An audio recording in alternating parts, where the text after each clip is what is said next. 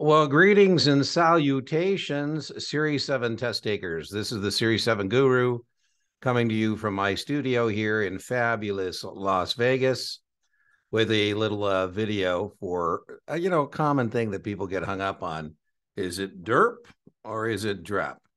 Well, let's uh, talk about what DERP is. DERP is a memory aid to remind us about how it works for a stock. You know, we have a declared date and the declared date is set by the board of directors. And you know, maybe the board of directors gets together on a Monday. Uh, oh, let's see, October uh, first, and declares a dividend. You know, once the uh, board declares that dividend, it becomes a, a current liability of the corporation, causing working capital to fall. And they say, uh, who are we going to pay the dividend to? You know, we're going to pay it to shareholders as of record. Again, set by the board of directors. And maybe they say they're going to pay it to shareholders as of record uh, Thursday, uh, October 16th. I'm just making that up. And then the board says, and when we going to cut the checks, and maybe the board says we're going to cut the checks, we're going to pay the dividend on November 1st. And that has no effect on the uh, working capital because when they pay the dividend, the uh, current assets go down, the cash is at the same amount that the liabilities go down. And so we have uh, in the securities industry what's called a test question, the Uniform Practice Code. And the Uniform Practice Code standardizes practices within the securities industry secondary trading practices because people are buying and selling. And uh, let's see, let's get a different color here. That alone could be like a recognition question, like you know, which of the following standardizes secondary trading practices within the securities industry? And you would say A, the Uniform Practice Code. And they that's where the ex-date uh, comes from.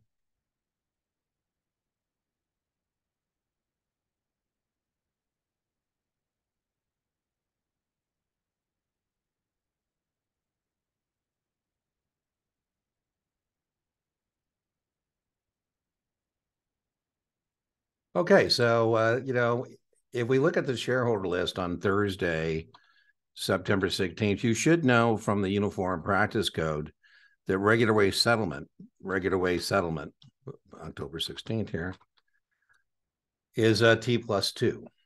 And so it takes uh, two business days to show up on the shareholder list uh, to get this dividend. So we see here, if we buy this uh, stock on Wednesday, Wednesday, October 15th. Boom, let's put that there. That you would not be on the shareholder list in time, right? Because as we said, it takes two days. And so T plus one, you wouldn't be there. And uh, let's see, if you buy this on uh, Tuesday, October 14th.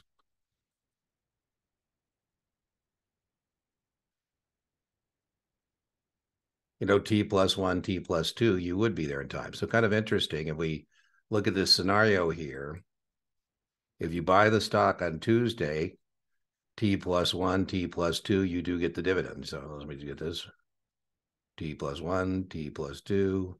You're on the shareholder list to get the uh, dividend. So Tuesday would be the last day you could buy that stock and still receive that uh, dividend. Uh, Wednesday, very testable, is the first date on which the stock no longer trades with the dividend attached. That alone is a testable definition. You know, what best describes the ex-date? X is Latin for without, right? If I ask that you have a ex spouse, that means you're no longer trading with your spouse attached. And that ex-date is a function again of the Uniform Practice Code.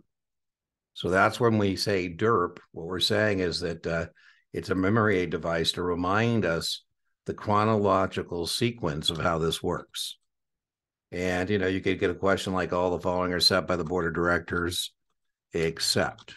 right? The ex-date is set by the Uniform Practice Code uh, of uh, of the uh, secondary trading, right? And so that's what we mean by this uh, mnemonic device DERP. Just to remind us. And remember those dates, the one that is not set by the board of directors, the ex-date. And the ex-date we said is one business data prior. So there's a couple test questions here. It is, uh, you should know it's, whoop, let's get a smaller font there.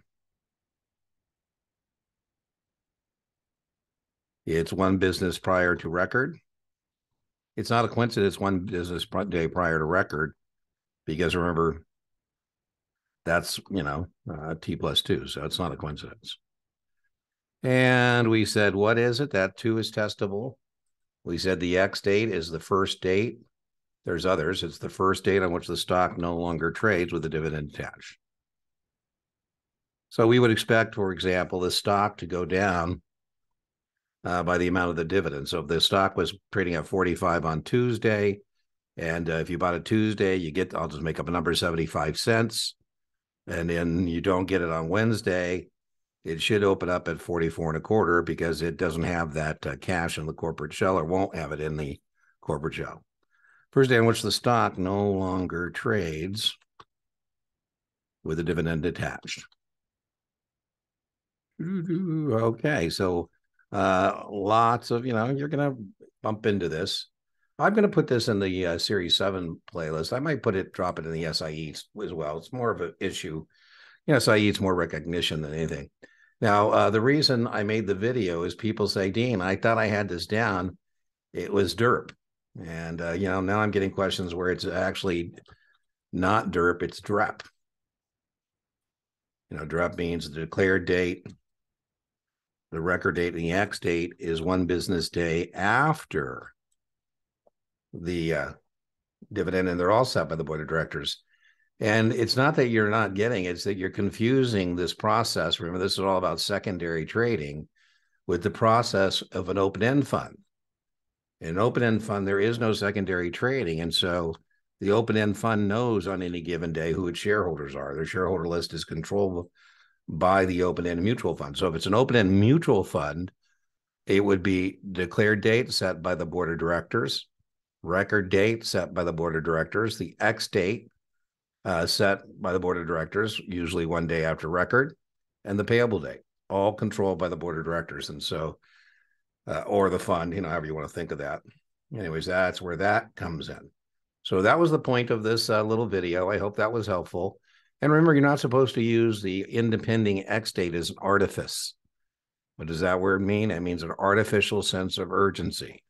So, you know, selling dividends using this uh, process, as you can see, you know, you know you're not supposed to confuse people about you know dividends and so selling dividends is a big no-no i say hey you know if you buy the stock today wednesday october 15th or, or wednesday october 15th or 14th you get the dividend but if you wait till tomorrow wednesday no dividend for you and you say well dean isn't it going down by the amount of the dividend wouldn't I be better served to just buy it, you know, on the ex-date without uh, creating the unnecessary tax situation? And I go, well, gee, you're no fun. you say, Dean, can I talk to your supervisor? Big no, no. Okay, so the uh, point of this video is it is it DERP or is it DREP? Right. So let's just review. In the secondary market, in the secondary market, we have a uniform practice code which standardizes practice within the securities industry. The board declares the dividend Monday, October 1st. They say we're going to pay it to shareholders as of record October 16th. We're going to cut the check on November 1st. And the shareholder list is always changing. We have a uniform practice code which standard, standardizes secondary trading in the securities industry. And the ex-date is a function of that uniform practice code. It's not a coincidence the ex-date is one business day prior to record because it takes T plus two, Tuesday, T plus one's Wednesday, T plus two Thursday. I get the dividend. Wednesday, T plus one, I do not. So Wednesday is the first date on which the stock no longer trades with a dividend attached. It's a functional Uniform Practice Code. It's one business day prior to the record date. It's the first date on which the stock no longer trades with a dividend attached. Open-end mutual funds aren't trading on the secondary market. You know who the owners are at any given time. In an open-end uh, fund, it's DREP, declared, record, ex payable, all controlled by the board. All right. Remember, inch by inch, your Series 7 is a cinch, yard by yard. Your Series 7 is hard. And I'll see you for the next lecture request. This was a request. Any requests you have, send my way, and I'm more than happy to make you a little video. Bye bye.